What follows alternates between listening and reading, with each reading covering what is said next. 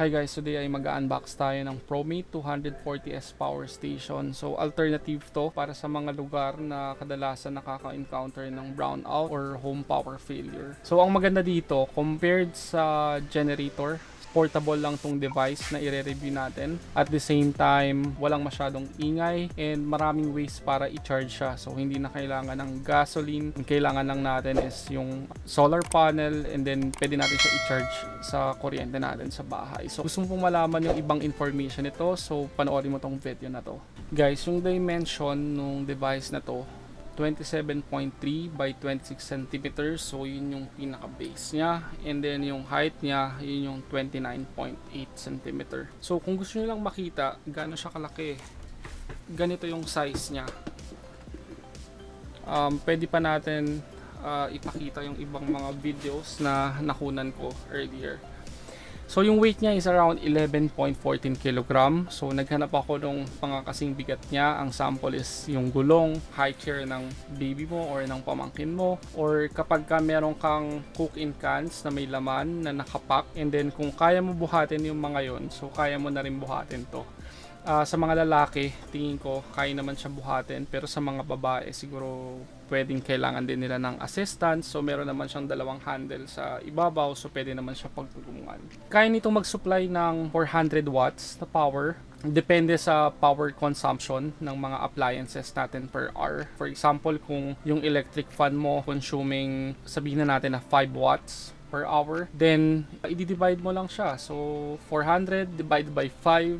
So, ilan ba siya? 80. So, ibig sabihin, 80 hours natin magagamit kung ideal. Pero if not, halimbawa meron lang siyang mga losses or buffer. So, siguro, instead of getting 80 hours, baka mga 70 hours. So, depende pa yon sa, sa usage natin and sa pinaka-health ng battery natin. So, mas mababang load, mas matagal natin magagamit. And yung mga sample ng appliances na yon, yun yung mga ilaw, portable TV, or yung electric fan. Pwede ka mag-charge ng cellphone, ng tablet, ng laptop, and yung pinaka-gusto ko sa lahat, kapag ka nag-brown out, pwede mong isaksak yung modem ng internet nyo. For sure, hindi ganun kataas yung power consumption nun. Makakapag-continue ka pa na mag-internet. Kung mag-brown out sa lugar nyo. So, kung nag-work ka, lalo na sa, kung nasa IT field ka or nasa work ka na, you know, laptop lang, tapos internet. So, yun, hindi mo kailangan lumipat ng location and then mako-continue mo pa yung work mo. Based doon sa mga review na nakikita ko, information online, so yung mga laptop, pwede mo pa siyang ma-charge o magamit ng 5 to 8 hours. And sabihin na natin na kung may internet modem ka na makakapag-consume siguro, syempre mas mababa naman yung yung power consumption nun. So,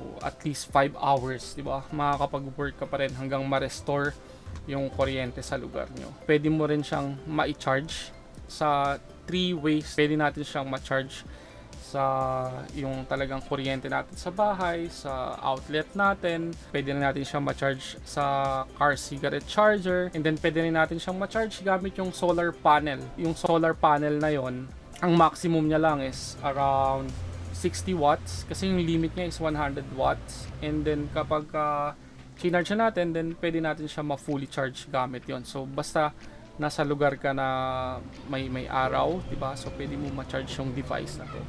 Meaning kung gusto mo mag-camping, meron kayong mga lakad outdoor, magagamit natin tong device na to. Kung titingnan natin yung mga saksakan, lahat nandun sa may sa, sa front ng device na yon and makikita natin doon yung dalawang 220 volts na AC socket. So pwede natin isaksak doon yung mga appliances natin like electric fan nga, TV, yun, kung gusto natin na marami pa tayong masaksak, pwede tayong gumamit ng extension. Pero let's make sure lang daw na hindi more than 100 feet yung haba. Kasi ka, uh, more than that, pwede nang ma-reduce yung output ng power. So meron din siyang 12 volts na DC socket. So kung meron tayong mga appliances na merong cigarette lighter plugged in or basta DC na na connection, so pwede natin 'yun gamitin. So yung 12 volts na DC niya, merong dalawang way. Yung isa is yung gamit yung jack, dalawa yung socket natin doon. Pero may limit lang siya in terms of current, parang 1 ampere lang. And then meron naman siyang built-in protection kapag ka na-exceed niya yon automatic din yung ano niya, yung parang circuit breaker niya. So kapag ka nag-cool down na, so pwede na natin siya ulit gamitin. And then yung isang 12 volts DC naman niya, uh, 11 amperes yung yung current na kaya niyang i-handle. So ganun din, meron din siyang built-in protection. Yun naman yung nandito sa ano lower left na mas malaki na ano na, na socket. Parang gamit yung cigarette lighter plug. Meron din siyang 3 USB ports. So hindi mo na kailangan ng charger na adapter. USB cables na lang makakapag-charge na tayo. Meron din siyang built-in na LED light. So for emergency, 'di ba? So meron na rin tayong ilaw doon. Pinakamaganda ba dito, lahat ng mga saksakan na to, pwede natin gamitin simultaneously okay lang sabay-sabay kasi yung ibang mga device, 'di ba, bawal 'yun eh. Parang one at a time lang kasi pwedeng mag ma-short yung mga socket or yung mga connection. Bawat sockets natin or yung USB ports natin, meron siyang kanya-kanya mga switch para ma-enable natin. So kapag ka tinurn on natin and tinurn off natin, so dun lang natin magagamit yon Yung USB ports and then yung 220 volts na saksakan. Itong device na to, pwede rin siyang gamitin for jump starting your car And ganun lang din naman yung way niya. Let's we, just need to make sure lang na ex, yung pinaka external, yung yung pinaka jumper cable natin nakakabit na doon sa battery bago natin isaksak dito sa device natin. Yun yung advice based doon sa manual. Pwede mo itong mabili sa iba-ibang model. So, seller na ako guys.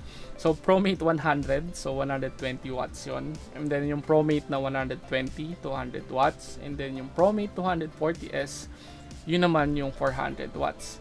So guys, bibili bibili na ba kayo? So kung bibili kayo, ilalagay ko yung Facebook page tsaka yung website nila sa sa description. So may mga store na nagpi-pre-charge na sila, meaning di mo na kailangang i-charge sa first use.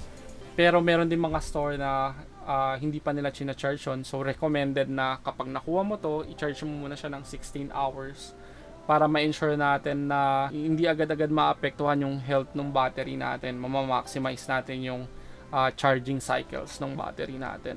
Meron din siyang mga accessories nga for charging. Hindi mo na kailangang bumili sa uh, electronic shop. So meron na siyang kasama na cigarette lighter connection plug para nga doon sa charging sa sa kotse mo. And then meron na rin siyang jumper cable para doon sa pag jump start And then meron na rin siyang uh, ah, DC charger kung gusto mo siyang i-charge doon sa sa wall nyo. Eh, sorry, sa wall nyo. Sa sa saksakan nyo, sa, sa wall nyo kasi mas um, advisable 'di ba na sa mga wall outlet tayo nagcha-charge. So kung gusto mong ma-monitor yung yung battery life ng device, so meron siyang LCD monitor. So i-click mo lang yung display and then after mo ma-click yung display, uh, makikita mo dito yung uh, ah, VAC, yung Volt Alternating Current. So malalaman mo lang dito kung uh, nai-hit ba niya yung 220 volts kasi that's important di ba sa mga devices natin, especially sa Philippines, 220 volts yung uh, usually nagamit natin. Yung um, alternating current na frequency, makikita lang natin, usually dapat uh, 60 Hz siya. If not, makaka-apekto rin yun sa mga devices natin. And then yung wattage naman, yun yung sa third na third na option sa display. Doon natin makikita kung ilang watts yung power consumption ng device natin. And magagamit natin to to compute kung uh, ilang hours natin magagamit. Um, yung, yung voltage DC naman, so ito yung indicator natin kung full charge ba yung itong ProMate device natin or hindi. Ang sabi sa manual, kapag uh, more than uh, 12.5 full charge siya. Pero kapag 12 volts yung nakikita natin dito, kailangan natin na natin siya i-charge as soon as possible. If not, pwedeng kasing uh, hindi natin ma-maximize yung uh, battery life. So, baka baka ma-damage natin yung kung ma-drain natin. Kung hindi natin inaasahan, na-consume din natin hanggang sa 11 volts as much as possible, di ba? I-stop na natin yung paggamit and then ma-charge na natin agad siya. Although itong device na to, ako meron siyang built-in protection din naman para hindi as in ma fully utilize yung yung power capacity niya. So meron din siyang ganun. Pero syempre as much as possible uh, proactive sa paggamit ng device para tumagal siya. So yung mga nakikita ko lang na mga limitation dito, yung iba sa atin, gusto natin ng mga mas mataas na watts, like more than 400. Like we're looking at 1,000, more than 1,000 watts. So kailangan na natin ng mga generators. And itong ProMate, meron din silang mga portable na generators. Higher power na kailangan natin, yung mga nai-innovate ngayon, syempre, meron din meron pa siyang mga limitation. Like siguro mas maingay yon and then gumagamit ng gasoline. Kapag ka hindi mo ginamit tong power station ng 2 to 3 months as much as possible, ma-charge din natin siya kasi there's a big possibility na nadi-discharge din yung power. Makaka-apekto rin yun sa ano sa battery lifespan itong device na to, hindi siya pwedeng gamitin sa microwave, sa aircon, sa oven, sa refrigerator.